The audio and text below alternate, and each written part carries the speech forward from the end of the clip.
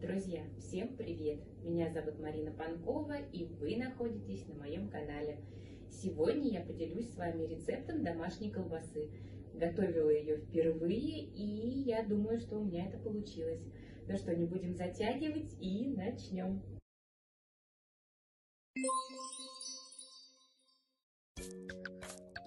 Рульку замочить на час в холодной воде, а затем хорошо почистить шкурку. В кастрюлю наливаем воду так, чтобы полностью покрыть мясо. Отправляем в нее рульку, добавляем лавровый лист, перец горошком и варим до образования пены. Затем убираем пенку и уменьшаем нагрев. Варим на самом медленном огне примерно 2-3 часа. Чем больше рулька, тем дольше варим. Как только кости стали хорошо отходить, значит рулька готова. Выкладываем на тарелку и даем остыть, а затем начинаем разбирать. Мясо кладем в одну тарелку, в другую складываем шкурки и жирок. Заранее процеживаем полстакана бульона. Теперь нужно замочить оболочку. Я брала уже очищенную, покупала в метро и действовала по инструкции. Нужно было замочить в кипяченой воде на некоторое время. Вы изучаете инструкции на упаковке, которую купите. Итак, вернемся к мясу. Складываем в мясорубку шкурки и измельчаем. Мясо режем на средние куски. Я разделывала руками, мне так удобней. Оно очень мягкое и хорошо расходится на волокна.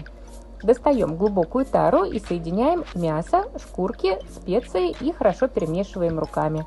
Затем добавляем процеженный бульон и снова перемешиваем. Масса должна получиться вязкой. Ну а теперь нам остается сформировать саму колбасу. Для этого я взяла специальную насадку для колбасы и сосисок. Она продавалась в комплекте с мясорубкой и надела оболочку. В конце завязала узелок. Ну и с помощью мясорубки делала колбаски. Предлагаю на это посмотреть.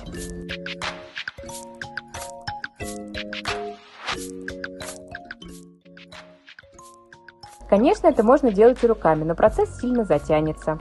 Как только наша колбаса будет в оболочке, отправляем ее в кастрюлю с водой, доводим примерно до 60-70 градусов и варим 30-40 минут. Следите за температурой, она не должна быть сильно высокой, иначе ее может разорвать. Как только приготовится, остужаем колбасу, убираем в холодильник.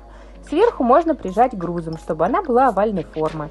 Я ее оставила на всю ночь. Режется колбаса просто, а самое главное, что сделано полностью из натуральных продуктов.